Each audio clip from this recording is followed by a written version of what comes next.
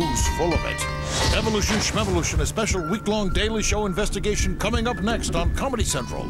The question will be answered. No more monkeying around. Birthplace of biodiversity. A daily show special report. Evolution Schmevolution.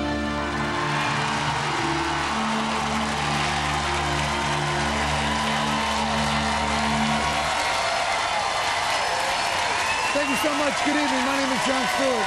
Delightful to be here. Welcome to the Daily Show. Well, thank you very much. Very kind of you. No question. Ladies and gentlemen, this is the beginning of a special week of shows focused on one of the nation's most controversial and polarizing issues evolution or schmevolution.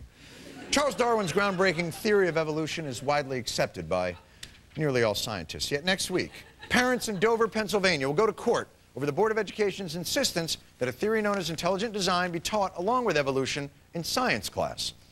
Science class, or as it's known in Dover, the Crazy Claim Magic Fun Hour. the president has weighed in on the issue, coming out in support of teaching intelligent design alongside evolution. In his words, quote, I think that part of education is to expose people to different schools of thought.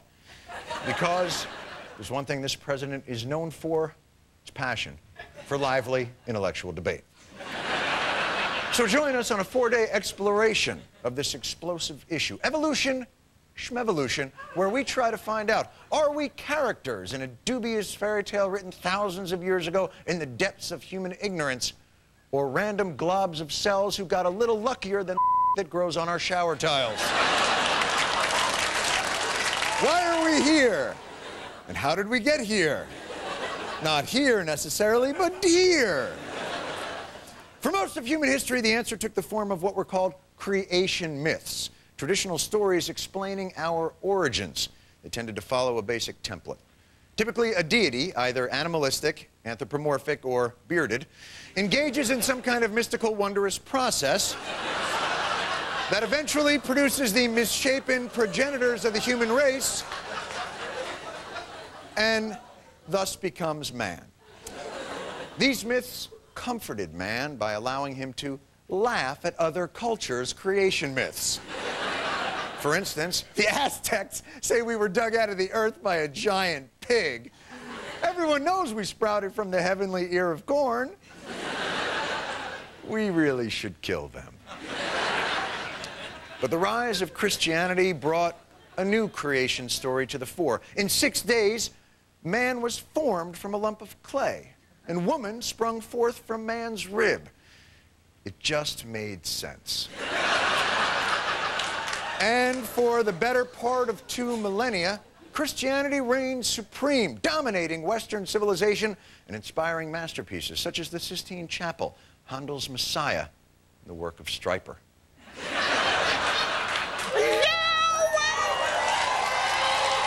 then, in 1859, a British naturalist named Charles Darwin published The Origin of Species, putting forth a revolutionary idea that man evolved into his current form through incremental changes over millions of years, a process that continues to this day and continues. Mm.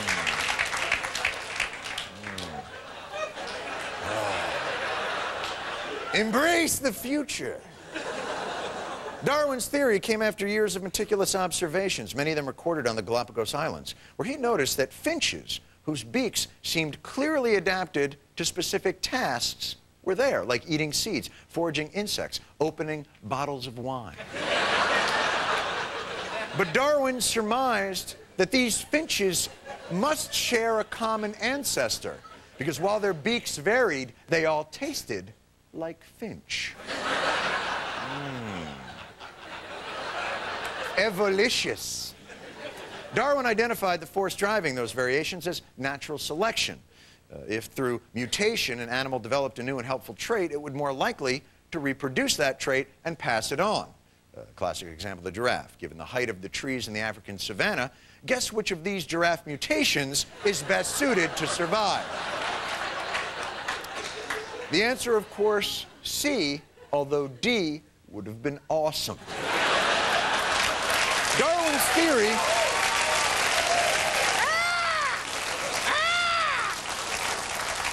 Darwin's theory was controversial because it meant mankind was not special amongst the beasts, which seems wrong.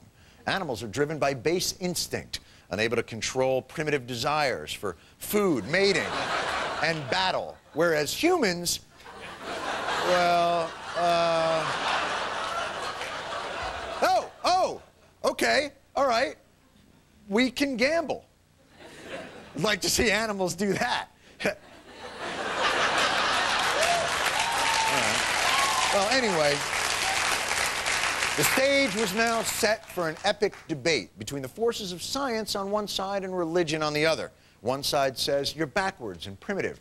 The other side says you're godless and love Satan.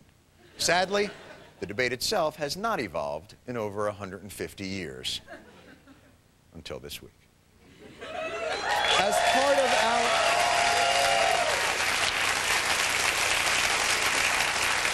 We will solve the debate this week, and as part of our Evolution Schmevolution Week, our own Ed Helms will be traveling the country, visiting the great battlegrounds of the Evolutionary War. Ed joins us now. Ed, thanks for joining us. Ed, where, where, tell us, where are you today? John, I'm standing in front of the Rhea County Courthouse in Dayton, Tennessee. This was the site of the infamous 1925 Scopes monkey trial, where John Scopes was convicted of teaching evolution to high school students. That trial gave Dayton a reputation for close-minded ignorance. But as I found out, the town took that black eye and made lemonade. Just as colonial Williamsburg faithfully recreates life in 17th century Virginia, Dayton has become a living history museum of 1920s Tennessee, and it's quite a magnet for tourists. Everywhere you look are monkey trial commemorations, exquisite artwork, and lively exhibits. And just like colonial Williamsburg, the town is populated with costumed performers who reenact the quaint attitudes of the good old days. What is your take on the Scopes trial? Evolution is a total fabrication and a lie. Uh, evolution distorts faith, destroys faith, and builds an economic market that is contrary to our American way of life. That's good stuff. In addition to the skilled actors, Dayton's attention to detail is staggering. The town has gone so far as to erect this elaborate set of a fully functioning college. Named after William Jennings Bryan, the prosecutor in the Scopes trial, the college keeps things authentic. Store owner Tim Kruver, whose daughter plays one of the college students, explains. What does their science department teach regarding evolution versus creationism? Well, you, it's a fact that they're going to be teaching creationism up there because they don't believe in evolution. When the tourists aren't, you know, milling around watching the classes and stuff, then what do they teach? Well, the same thing. In colonial Williamsburg, you can learn Negro spirituals. In Dayton, you can take part in an old-timey sing-along ridiculing evolution. Listen to the mockingbird, nicest song you ever heard.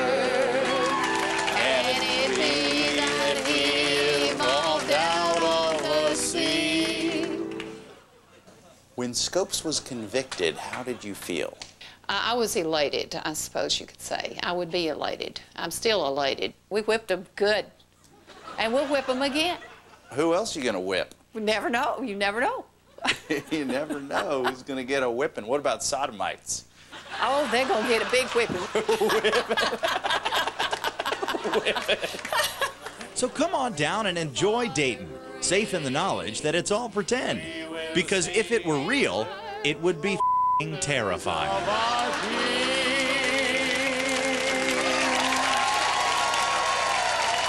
Thank you for that report, Ed.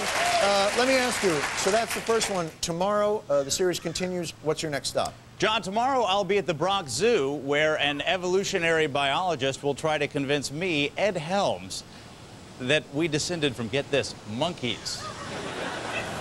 Oh, he's going to get a whipping. John? Thank you so much, Ed Helms. We'll be right back. Julie, you're very good. You're very good. Do you have a, a background in acting? No, I despise actors. Really? Yes.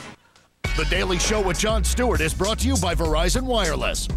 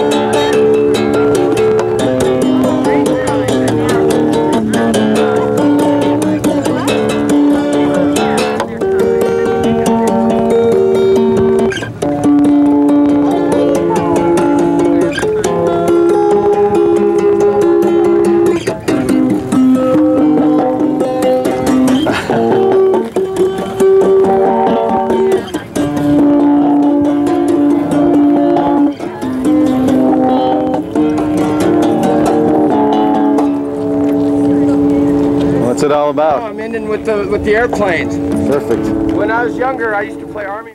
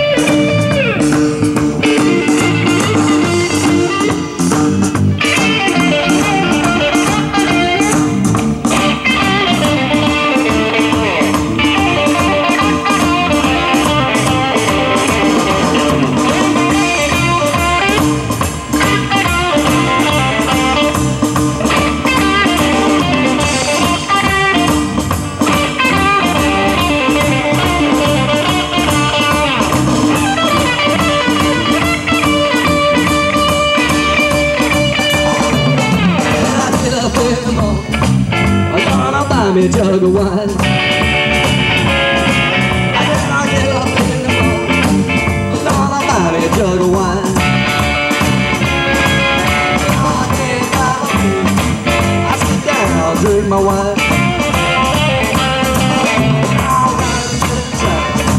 I see my woman, she's over there.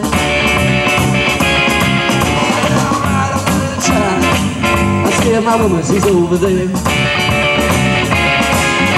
I'm looking for my baby. Oh, where she is, I don't care.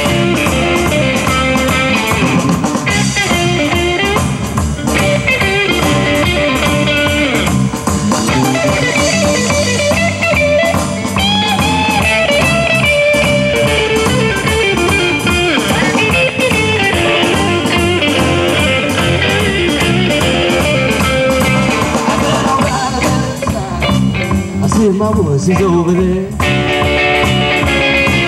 said, I'm riding in the sky. I said, my woman, she's over there. I I'm looking for my baby. Oh, where she is, I don't care.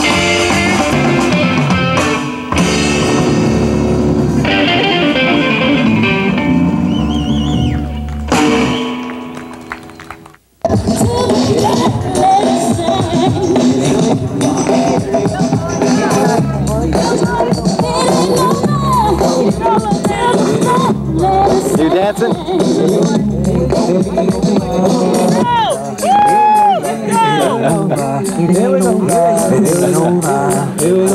We got a long way to go.